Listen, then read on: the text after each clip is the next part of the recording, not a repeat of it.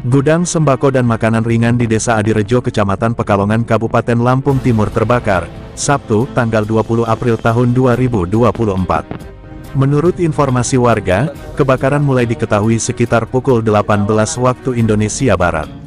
Warga yang mengetahui kejadian itu pun lantas mengabarkan ke pihak Pamong Desa dan tim Damkar Badan Penanggulangan Bencana Daerah Lampung Timur.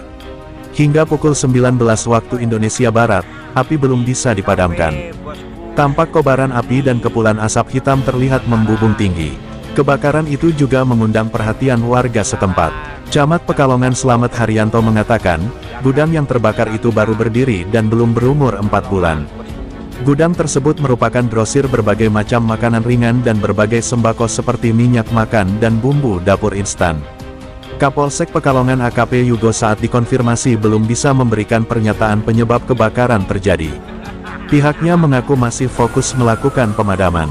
Kata dia, setelah api padam, polisi akan memeriksa saksi-saksi yang ada di lokasi guna mengungkap penyebab kebakaran.